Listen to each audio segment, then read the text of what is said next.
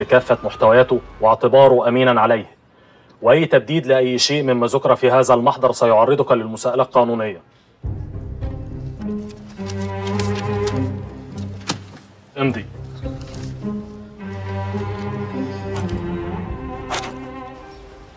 يا ديابي أنا مش شايف أي مبرر للي بيعمله البنك معايا. أنا أكبر عميل لبنك الأمان. القرضين الأولانيين أنا مسددهم بالكامل مع الفوائد. اتعثرت في 16 قرض التانيين.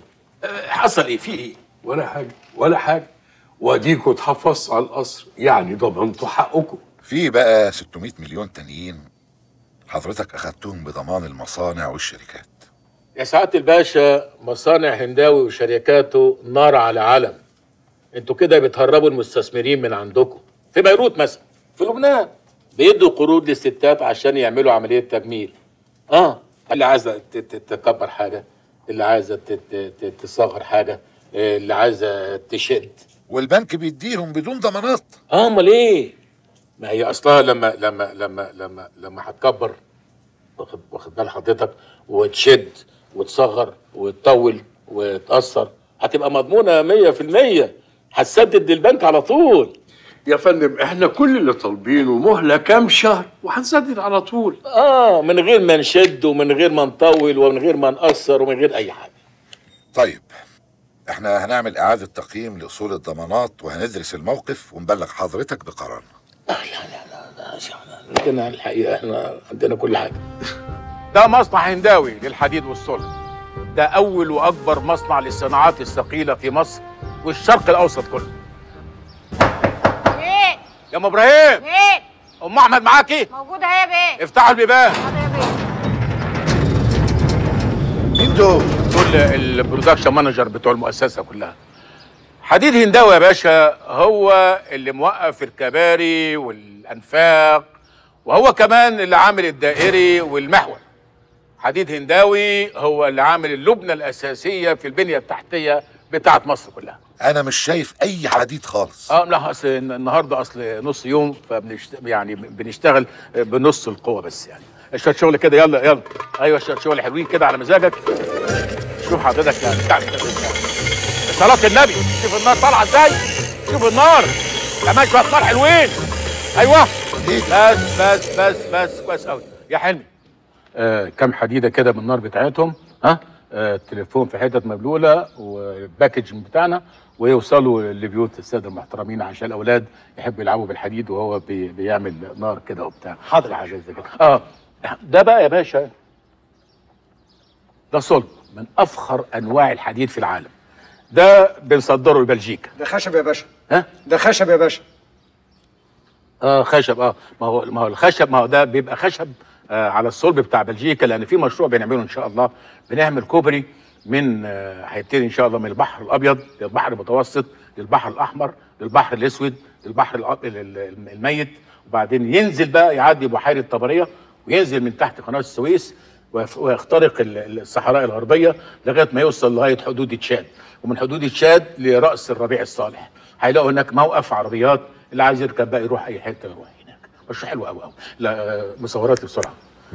يلا حضرتك ده مصنع هنداوي للدخان. ده أول وأكبر مصنع للدخان في مصر والشرق الأوسط. الحقيقة إحنا بنعمل تطوير في المصنع دلوقتي عشان ننتج آه، آه، معسل كيوي لأن اتضح إن الإقبال عليه في السوق شديد شوية. ممكن ندخل؟ نعم. ندخل. أنا بقول بلاش أنا عشان دخان عشان ستر حضرتك. لا يا سيدي ما تخافش.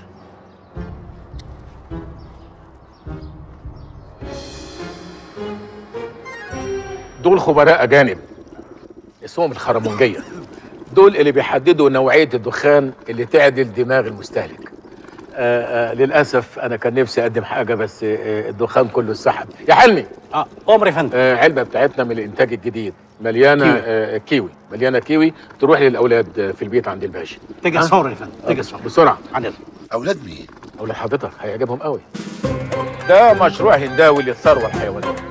ده أول وأكبر مشروع للثروة الحيوانية في مصر والعالم العربي. آه، ده للإنتاج الكبير. ده عشان الناس تلاقي اللحمة موجودة بوفرة في الأسواق. المعزة دي بتدي ثلاث معيز في اليوم. في اليوم الواحد بتجيب ثلاث معيز. آه يا حلمي أيوه يا فندم. بتقول لك آه، آه، معزة صغيرة ها؟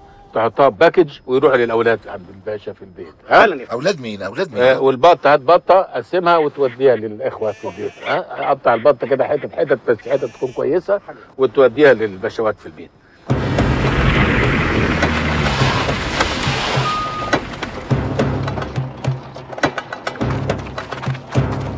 يلا نبدا وهو من هنا. مين دول يا أبو؟ مش عارف إحنا الغفر بتوع سليمان بيه صاحب الأرض. هات الماس يا حلمي. في إيه؟ في إيه؟ بقول لك انت مين ما ينفعش كده.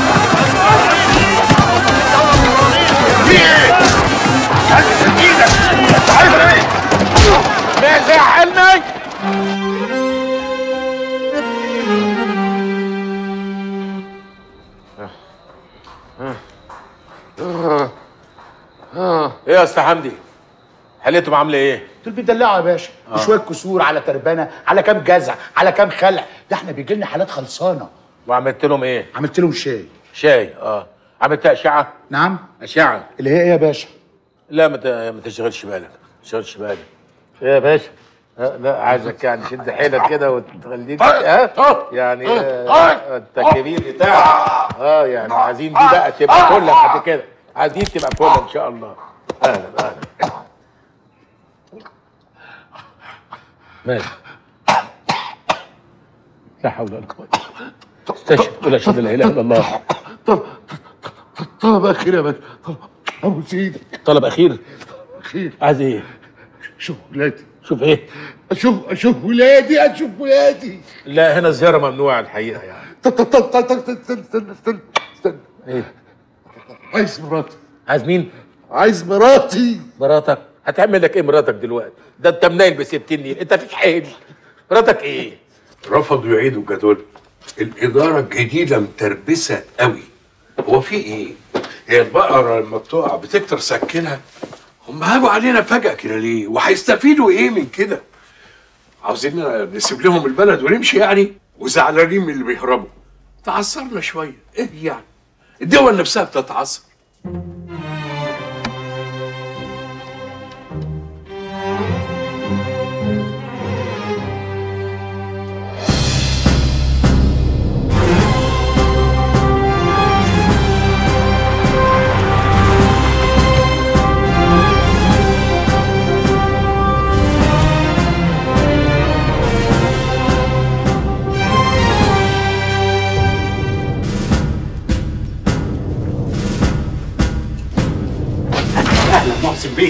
نظام باشا في انتظار سعادتك. مساء شكري باشا. السفير الأمريكي عنده جوه أول ما يخلص سعادتك هتخش على طول.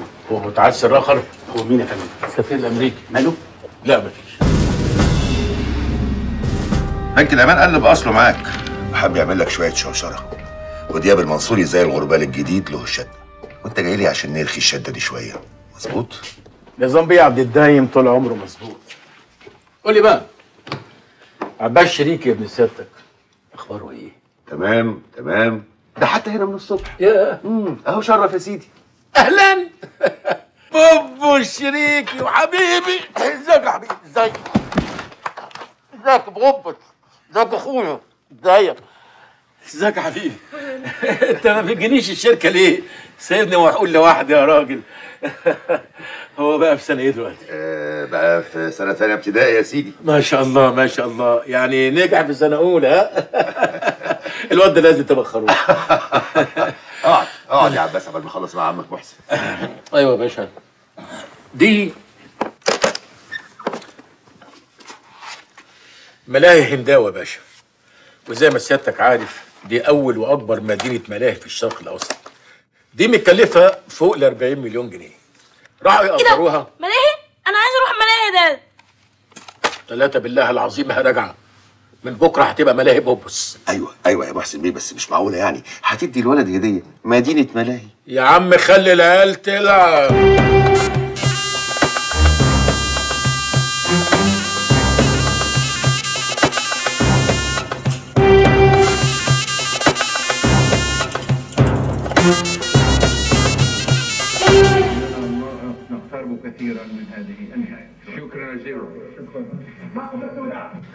دي ضربة معلم يا محسن باشا.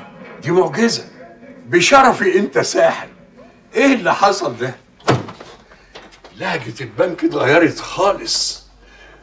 جنبي لسه قافل معايا. جدولوا لنا القرض وزودوا لنا المدة. عشان تعرف انت بتشتغل مع مين يا متر. سيادتك لغز كبير قوي يا محسن باشا. نفسي اعرف احل بوبوس. نعم؟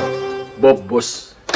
دي نظرية اقتصادية جديدة؟ دي نظرية بوبوس لجدولة الديون المتعثرة وتوفيق الأوضاع. دي نظرية أمريكية؟ لا دي مصرية مية المية.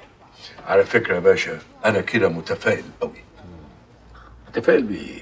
إحنا لينا فلوس بره كتير قوي لو لمينا نصها هنسدد كل اللي علينا وزيادة كمان.